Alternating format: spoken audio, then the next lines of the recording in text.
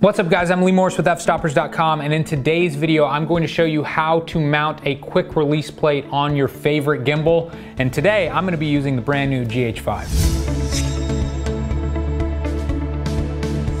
Now what I'm going to be talking about today probably could be done with any gimbal but if you haven't seen our gimbal overview and comparison and review you can check that out here or go to the links in the bottom of this post to check that out. This is the I know I'm going to say it wrong, Zhiyun Crane or something. Somebody told me in the comments how wrong I was. It was like, I'm not even close to pronouncing it right.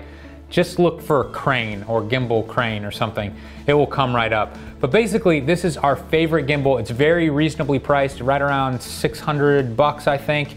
And uh, the only issue that I have with this gimbal is that if I have to take the camera off to switch the battery, it takes me just a few seconds to get it balanced again. But I think I've come up with a very simple answer here, and I've added a quick release plate here by Manfrotto.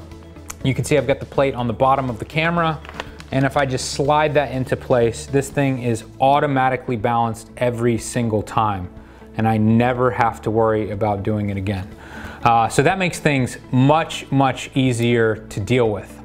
Now, I've decided to use this plate system because I use it with every single one of my tripods as well. I can make this plate work with my pan heads and with my pistol grip ball heads when I'm shooting still photography. So I love the fact that I have one system that works for everything right now. I never have to worry about taking the plates off the bottom of the cameras. This plate is called the Manfrotto 200PL, and this receiver is called the 323 RC2. You can pick this up with its own plate for about 35 bucks on B&H. You can check out a direct link in the description below this video. Now, this is not the most perfect option for this crane because with the position that it needs to be balanced in, it doesn't sit totally flush. If I had the tools to actually cut the bottom of this crane a little bit, I could get this thing to sit perfectly flat. But the way it is right now with this little quick release pin in the back and the safety knob, it's causing this thing to sit sideways just a little bit. And I can screw this thing down very, very easily, very, very tightly, and it's not going to go anywhere. I'm not worried about that, but it's not horizontal anymore. It's like one or two degrees off.